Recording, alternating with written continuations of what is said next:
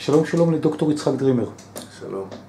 מי שמפתח, מייסד, מלמד בסדרה של הרצאות וקורסים וסדנאות, וגם מטפל, רפואה אולטימטיבית.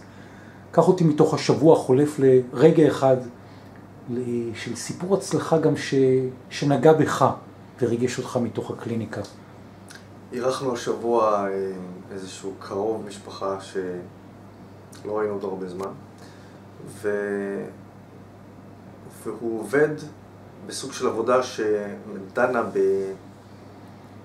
בלייזרים, ובצורה שהלייזרים מעבירים אינפורמציה. ושהוא אה, סיפר לי את התיאוריה של איך הם מעבירים אינפורמציה, זה התחבר לי לרדר לחלוטין. כשסיפרתי לו לגבי הרדר, הוא אמר, שמע, זה אותו דבר. אמרתי לו, ארוחת ערב הזאת לא הייתה סתם. יש לה מטרה. אני, אני הבנתי יותר לעומק בעצם את מה שאני, מה התיאוריה שלי ואיך אנחנו מיישמים אותה. כי מאיזה, איזה, איזה אסימון, איזה תובנה נפלה מבחינתך? ש... איך האור הבלתי נראה, שאחר כך הופך להיות אה, לצבעים דרך פריזמה שיש לנו בתוך הנוזל מוח שדרה, CSF, כי יש לנו שם קריסטלים, בעצם כל אור כזה מתורגם למידע, ואז המוח לוקח את המידע הזה והופך אותו למידע ביולוגי, וככה הוא מפעיל אותנו.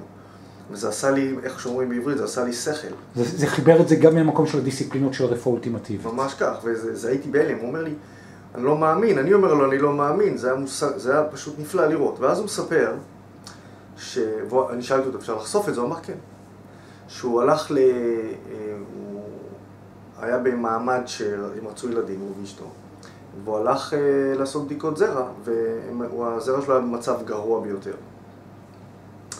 ואחרי כל הבדיקות שהוא עבר, נאמר לו שהוא חייב לקבל סדרה של הורמונים בצורה מסוימת, mm-hmm. ושהוא שמע וראה את כל הסייד אפקט שלהם, הוא אמר להם, חבר'ה, זה לא בא בחשבון. כי הסייד אפקט היה?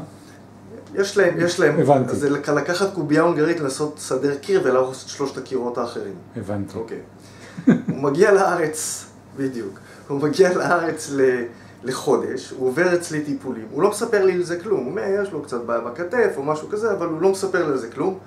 הוא טס בחזרה ועושים לו את הבדיקות שוב, ואז הם אומרים לו, שמע, הבדיק... התוצאות של הבדיקות לא הגיוניות בתוך 30 יום, אז הם חזרו על הבדיקות האלה שלוש פעמים, ומצב הזרע שלו היה מושלם. כי בעצם באיזה פרמטר אתה והרפואה האולטימטיבית נגעתם בו, שיניתם, הצבתם, בקובייה ההונגרית של החיים שלו? כשאתה לא מרודר, זאת אומרת שהאנרגיה שמזינה אותך והופכת להיות אנרגיה ביולוגית, צריכה להפעיל את הגלי מוח שלך בצורה כזאת שמפעילה את המערכת ההורמונלית שלך בצורה מקבילה. ואם יש שם ירידה בעוצמה של הגלים האלה, בעוצמה, וגם באיזה גלים אתה מתנהל, המערך ההורמונלי שלך משתנה בהתאם. ואצלו, מלחץ ומדיכאון ומחוסר הצלחה, זה הלך וירד.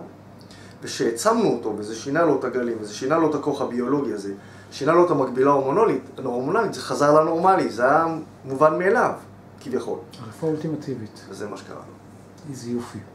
דוקטור יצחק דרימר, מי שמפתח, מייסד את התחום הזה של רפואה אולטימטיבית בארץ ובעולם, אנשים שרוצים להיות חלק מתוך המסע הזה, רוצים לבוא ללמוד, רוצים לבוא לטיפול, רוצים להבין מי הם ולהגדיר את התהליך הזה, אתה פותח בתוכך את המקום הזה של תקשורת, של לבנות קהילה, שיבואו לקרוא מתוך הספרים שלך, שישאירו פרטים בפייסבוק, יוטיוב, טוויטר, אימיילים, תקשורת. בהחלט. דוקטור יצחק דרימר, תודה רבה לך. בשמחה.